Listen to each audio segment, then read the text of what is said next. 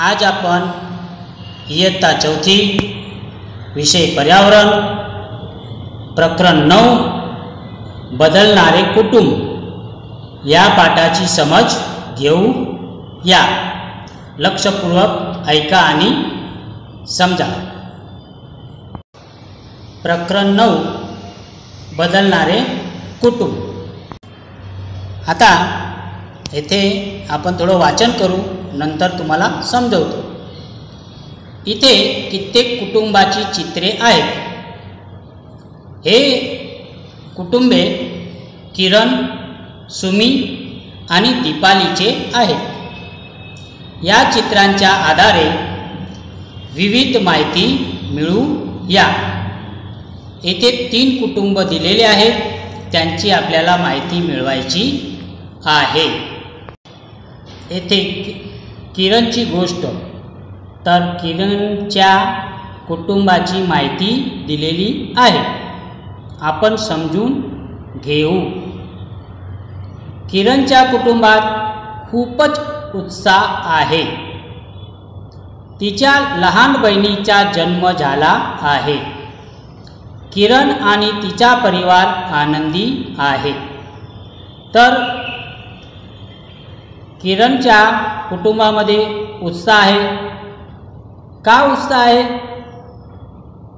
कारण की तिच्या बहिणीचा जन्म झाला आहे. त्यामुळे सर्वजण खुश आहेत. चित्र पहा आणि लिहा. तर पहिल्या चित्रामध्ये दवाखान्यातून किरणची आजी किरणची आई किरणचे वडील आणि तिची लहान बहीण जिचा आत्ताच जन्म झालेला आहे म्हणजे दवाखान्यात जन्म झालेला आहे ते दवाखान्यातून निघाले आहेत. दवाखान्यातून निघून म्हणजे हॉस्पिटलमधून निघून ते रिक्षात बसले.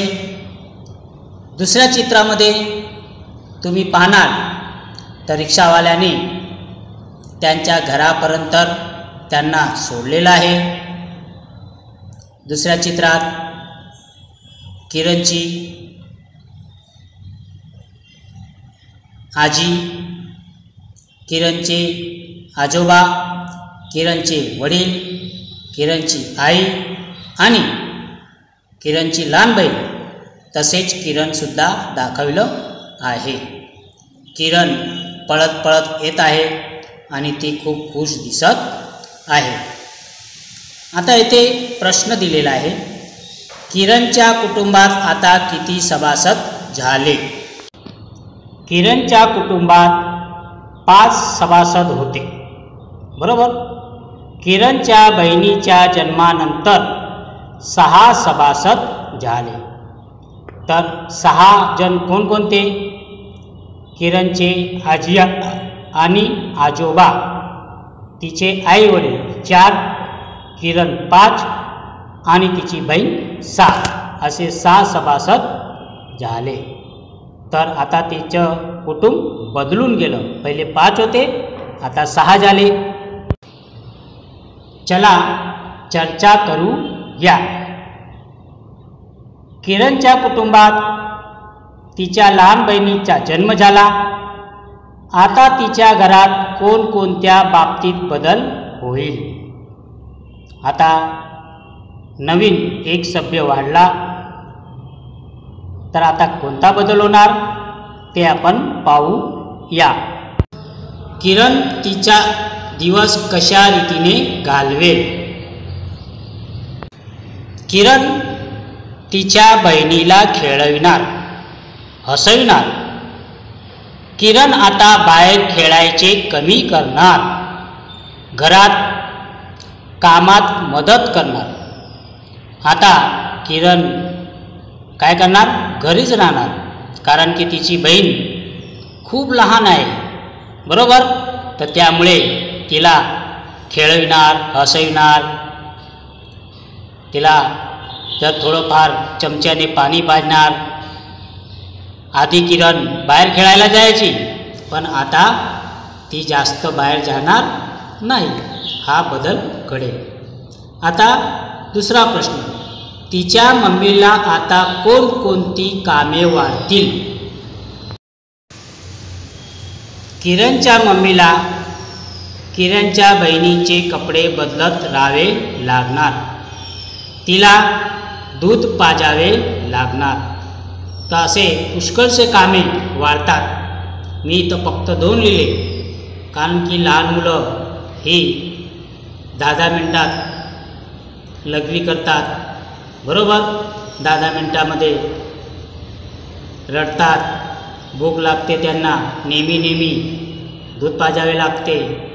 तर ही सर्व कामे आता वाढतील. आहे का नाही? आता पुढचा प्रश्न. घरात लहान बालक असेल तर कसे बदल पायास मिळतील? घरात लहान बालकासाठी पाळणा आणावा लागेल. बालकाची झोप मोड होऊ नये म्हणून घरात शांतता ठेवावी लागेल. बालकाची पालनपोषणाची जबाबदारी वाढेल. तर एकदम लहान मुलगा जर घरात असेल तर त्याच्या झोपवण्यासाठी काय करावं लागेल? पाळणा आणावा लागेल. कारण की त्याला खाली झोपवलं तर तो इथं तिथं फिरत राहतो. त्यानंतर जर थोडा पण आवाज झाला तर त्याची झोपमोड होते. त्यामुळे घरात काय करावं लागेल? शांतता ठेवावी लागेल. तिच्या लहान मुलाच्या पालनपोषणाची जबाबदारीसुद्धा वाढते. बरोबर? पुष्कळ कामे वाढतं. कारण की लहान मुलगा असला तर हकतो मुततो. बरोबर? वेळोवेळी त्याला जेवणसुद्धा द्यावं लागतं. तर याप्रमाणे खूप काम वाढून जातं. आता पुढे समजूया. तुम्हाला माहीत असतील तशा कुटुंबामध्ये लहान बालक असेल तर त्याच्याविषयी माहिती मिळून खाली प्रश्नांची उत्तरे लिहा. तर येथे जो प्रश्न दिला आहे तो प्रश्न तुम्ही लिहायचा आहे. पहिला प्रश्न आहे तुमच्या आजूबाजूला सर्वात लहान बालक कोणाच्या घरी आहे? तर आपल्या आजूबाजूला जर एकदम लहान मुलगा जिथं असेल ते आपल्याला लिहायचं आहे. कोणता मुलगा आहे? बरोबर? त्याचे नाव लिहायचे. कोणाच्या घरी आहे? काकूच्या घरी आहे? मामाच्या घरी आहे? किंवा कोणी शेजारी असेल तर ते शेजारीच्या घरी लिहायचं आहे. त्याचे नाव लिहा. चालेल? बरोबर? आता दुसरा प्रश्न. बालकाचा जन्म कधी झाला होता? तर तुम्हाला काय करायचं? त्याची जन्मतारीख लिहायची. जे जन्मतारीख माहीत नसेल तर महिना लिहायचा. बरोबर? की दोन महिन्याआधी झाला होता. प्रश्न तिसरा. त्या बालकाचे वय किती आहे? तर जे वय असेल ते लिहायचं. चार महिने सहा महिने वर्ष. बरोबर? जे त्याचे वय असेल ते वय लिहायचे आहे.